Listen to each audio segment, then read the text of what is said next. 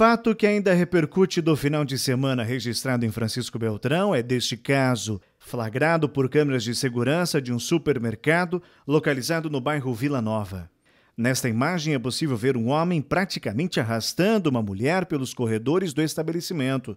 Neste momento, numa gôndola, ele pega três facas e sai em direção à porta de saída do mercado. Informações dão conta que em um determinado momento ele a segurou pelo pescoço e ameaçou a vítima de morte. Funcionários do estabelecimento perceberam a gravidade da situação e tentaram intervir. Foi neste momento que o homem partiu para cima deles, empunhando as facas. Dois deles então acabaram feridos por, pela arma branca que portava o suspeito. No entanto, posteriormente esse indivíduo conseguiu ser contido por populares até a chegada da equipe da Polícia Militar no local. Com a comparecimento da equipe da Polícia Militar, esse indivíduo então foi apresentado até a delegacia, onde foi formalizada a sua prisão em flagrante.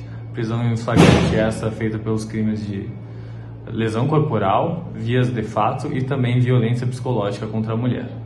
Trata-se de uma situação envolvendo violência doméstica familiar, razão pela qual posteriormente vai ser encaminhada à Delegacia da Mulher aqui de Francisco Beltrão, visando a conclusão dos procedimentos.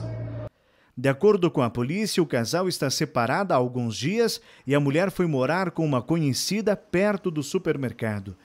Ela teria ido levar o lixo na frente de casa quando foi capturada pelo ex-marido e levado à força até o supermercado. Vale destacar que nesse mês de novembro a vítima já tinha registrado um boletim de ocorrência contra seu ex-convivente, também tratando de violência doméstica e solicitado medida protetiva. No entanto, esse indivíduo ainda não tinha sido cientificado. A Polícia Civil ainda adota todas as providências visando o esclarecimento do ocorrido e a responsabilização do suspeito. Este, após a prisão em flagrante, foi então preso e encaminhado ao Poder Judiciário para a adoção das providências cabíveis.